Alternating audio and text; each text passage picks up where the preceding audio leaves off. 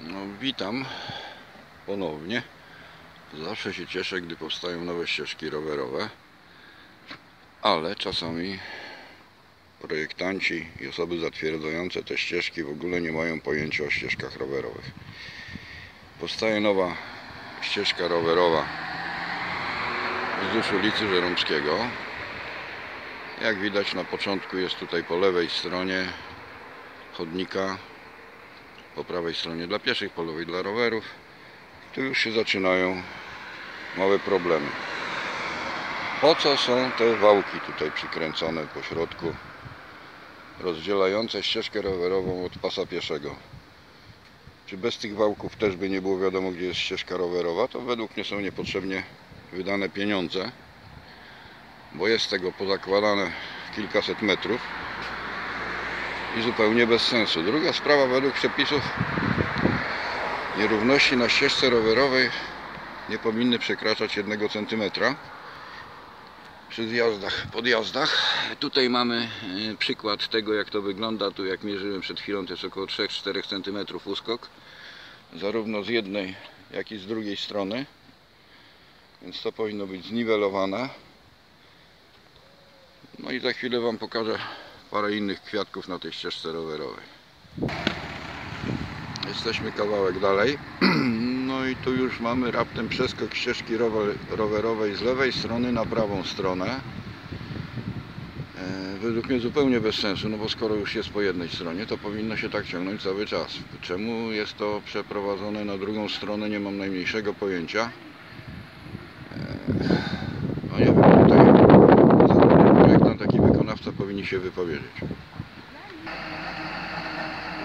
A tutaj mamy, jak widać, e, przeprowadzenie ścieżki rowerowej z prawej strony ponownie na lewą stronę chodnika.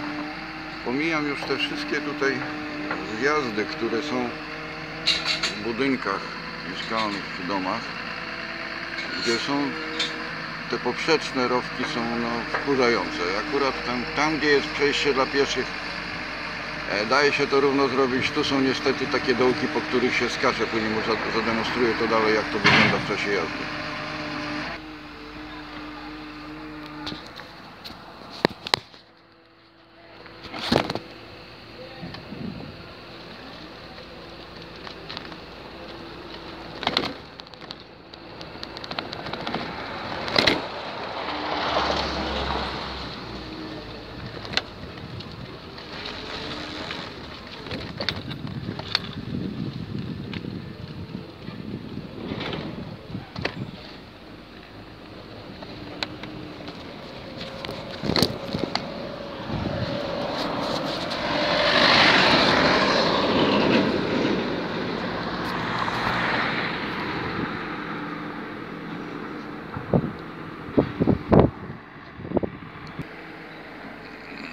Tutaj mamy przykład, gdzie ścieżka dla pieszych jest równiutko przeprowadzona przez dojazd do posesji, natomiast e, tutaj na ścieżce rowerowej są poprzeczne rowki, które w czasie jazdy wygląda to mniej więcej tak.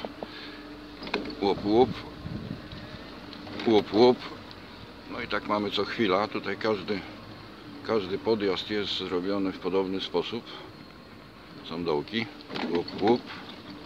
Łup, łup, łup, łup, łup, łup. I tak przez całą ścieżkę rowerową, która ma być ścieżką rowerową. No niestety, ale, ale to chyba nie jest ścieżka rowerowa i dojeżdżamy w tej chwili tutaj do tego miejsca też dosyć dziwnego, gdzie ścieżka rowerowa przy ulicy raptem się urywa jest jeden wielki krawężnik, a przebieg ścieżki sugeruje wjechanie na chodnik, na przejście dla pieszych. Więc niestety jedziemy przez przejście dla pieszych i oczywiście wiadomo ścieżka rowerowa się kończy, a tu się znowu zaczyna. To jest bardzo genialnym pomysłem projektantów. No jeszcze sprawa tych, tych wałków po środku, to jest, jak powiedziałem, niepotrzebne wydawanie pieniędzy bo ścieżka rowerowa jest zaznaczona wyraźnie, a poza tym jest to niebezpieczne, bo w przypadku nagłej ucieczki ze ścieżki rowerowej, bo się różne dziwne rzeczy mogą dziać, to spowoduje przewrócenie się rowerzysty. Szczególnie jak to będzie mokre jeszcze. No i następny widać odcinek znowu przeprowadzenie ścieżki z lewej strony na prawą stronę ulicy to jest dla mnie bezsensowne zupełnie. To ktoś powinien za to odpowiedzieć. Jedziemy dalej. No i tu mamy znowu następny przejazd. Wiadomo, koniec drogi rowerowej. Trzeba zsiąść z, rower, z wózka z roweru, przeprowadzić go na drugą stronę i jechać dalej. No pomijam sprawę, że tutaj krawężniki to mają już tam około 10 cm. Ponoć ma być to wyrównywana, ta ulica ma być podniesiona wyżej, ale kiedy to nastąpi, no w każdym razie ja mam w tej chwili nawet problem, żeby tu wózkiem zjechać i wjechać na drugą stronę tej, tej niby ścieżki. No zbyt wysokie progi, żebym ja to mógł pokonać. No, spróbuję tam dalej wjechać i dojechać do końca tej ścieżki. No, jesteśmy już po drugiej stronie tej ulicy, jedziemy sobie dalej. Oczywiście te łączenia podjazdów ze ścieżką są makabryczne, bo to się wszystko trzęsie. No i dojeżdżamy powoli do pętli autobusowej. I co ciekawe, od pętli autobusowej jest zrobiona ścieżka, tam dalej w prawo, gdzie no wszystko ma ręce i nogi. Wszystko jest zrobione prawidłowo, tak jak trzeba. Tutaj znowu wysoki krawężnik. Muszę wjechać na ulicę, żeby ją pokonać. Oczywiście krawężniki wysokie, jak widać dalej. No i tutaj wjeżdżamy na tą starą no starą, no, poprzednią ścieżkę rowerową, gdzie ciągnącą się tam dalej przez las, gdzie wszystko już jest w miarę normalnie porobione. Pomijam sprawę tych zjazdów, które też nie są tutaj rewelacyjne,